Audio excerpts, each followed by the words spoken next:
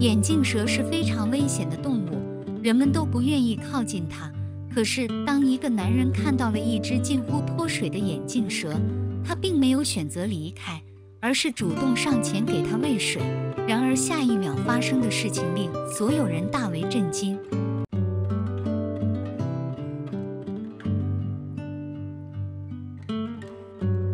二十岁的丹尼尔来自英国，从小在城市中长大的他，对大自然有着极高的兴趣和憧憬。当他决定独自去非洲探险时，身边的所有人都对这个想法感到相当吃惊。他们不明白丹尼尔为何要去那么远的地方，况且独自旅行也是十分危险的。他们劝说丹尼尔不要冒险，但是年轻的丹尼尔并不认为这是错误的事情。他已经下定了决心，没有任何人能够阻止他。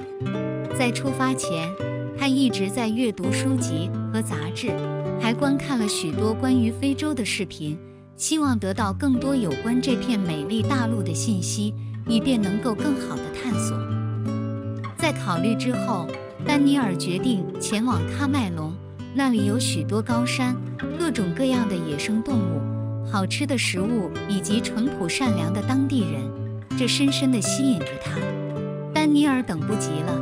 他立即收拾行李，准备出发去冒险。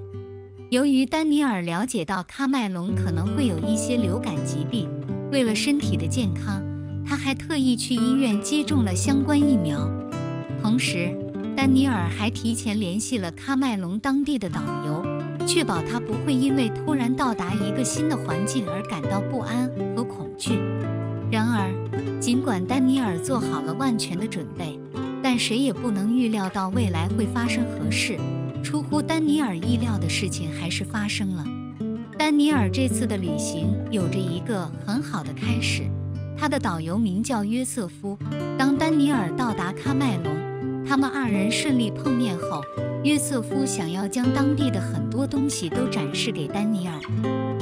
在最初的几天里，他们一起去远足、游泳以及钓鱼。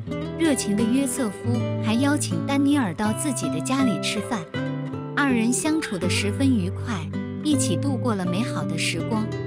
可到了第四天，意外的事情发生了。当约瑟夫骑着摩托车带着丹尼尔在乡村市场中穿梭的时候，后座的丹尼尔被市场中大量的人群惊呆了。这个来自英国的年轻人之前只在电视中见到这样的场景，然而。就在丹尼尔向约瑟夫表达着内心的激动时，他突然感觉到一阵剧烈的疼痛。出于身体的本能，丹尼尔紧紧抓住了约瑟夫。约瑟夫被丹尼尔突然的行为吓到了，原本紧抓车把的双手也有点控制不住了。考虑到二人的安全，约瑟夫放慢了行驶的速度，将摩托车停在了路边。想看看丹尼尔究竟出了什么问题。丹尼尔不确定这一种刺痛究竟是怎样引起的，但是当他解开衬衫纽扣时，他感到了更加剧烈的疼痛。他发现身上有一处红色的伤痕，伤口已经肿胀成了一个大圆圈。一看到这样的伤口，约瑟夫立即就知道到底发生了什么。他告诉丹尼尔，他可能被蛇咬了。而当他们回头看刚才经过的土路时，他们发现了一条黑色的大蛇正在路上蠕动，大蛇还时不时发生嘶嘶的声音。丹尼尔对此感到很不可思议，他对约瑟夫表示：“这怎么可能？”约瑟夫解释道：“蛇可能是在他们减慢速度时爬上来的。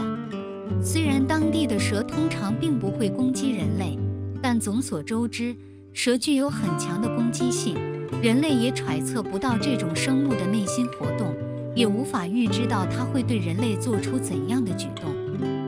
约瑟夫来不及向丹尼尔解释太多，毕竟被蛇咬的感觉可不怎么好受。约瑟夫立即用水冲洗丹尼尔的伤口，这样不仅能使伤口周围保持干净，同时还能让丹尼尔缓解一点疼痛。在处理完之后，他们需要找到一位医生。约瑟夫向路人求助，路人告诉他们，镇上有一位医生可以帮助丹尼尔。没有时间可以浪费，为了丹尼尔的生命，约瑟夫以最快的速度将丹尼尔送到了那里。当他们到抵医院门口的时候，丹尼尔的情况已经非常不好了，他已经无法正常行走。约瑟夫将丹尼尔扛在肩上，艰难地将他带进了医院。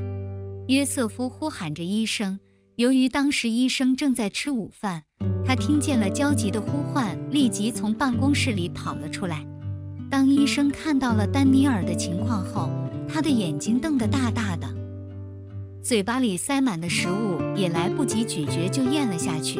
他告诉约瑟夫，这里并不是普通医院，而是动物医院。约瑟夫扛着虚弱的丹尼尔待在原地不知所措。但值得庆幸的是，医生告诉绝望的二人，这里有足够的药品和设备，足以治疗丹尼尔。在得知后，约瑟夫和医生将丹尼尔抬到了病床上。医生首先用生理盐水将伤口清洗干净，再用一些敷料将伤口包裹了起来。然后，只见医生在柜子里来回翻找，寻找一种他曾经使用过的、可以治疗被蛇咬伤的药品。丹尼尔在病床上痛苦地躺着，看着医生忙碌的背影，他用虚弱的语气询问医生在找什么。医生说：“抗毒药，这是唯一可以拯救你的东西。”丹尼尔开始感到眩晕，大家都意识到留给他的时间不多了。就在这时，医生尖叫了一声，他找到了抗毒药，转身开始准备注射器。不到一分钟，医生就将药水吸进了注射器中，然后注射进了丹尼尔的体内。与咬伤所引起的疼痛相比，丹尼尔几乎感觉不到针头扎进身体时所产生的疼痛。在注射完之后，丹尼尔睡着了。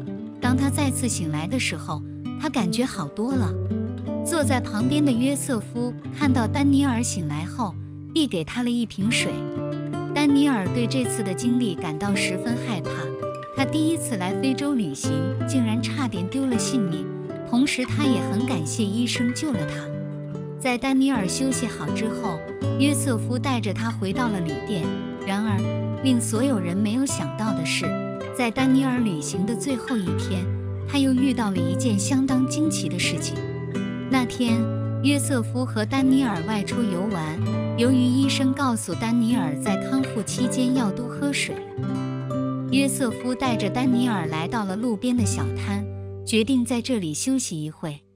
天气相当炎热，就在二人聊天时，丹尼尔发现不远处有一条蛇被太阳烤得无法动弹。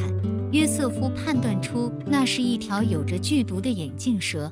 由于担心受伤，他拉着丹尼尔就要离开此地。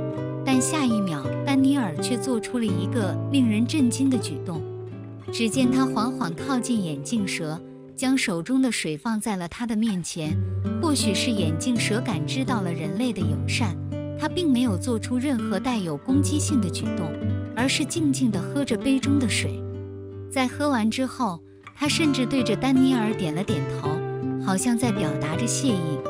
眼镜蛇的行为，令一旁的约瑟夫和丹尼尔相当震惊，他们完全没有想到冷血的动物还能有如此温顺的一面。